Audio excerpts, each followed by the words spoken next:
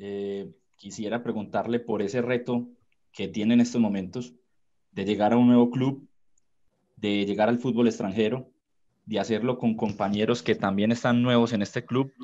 Como lo dije con, con un colega suyo que vengo a, a tratar de, dar lo mejor de mí, de, sé que vengo a un club muy grande donde tengo que estar a la altura.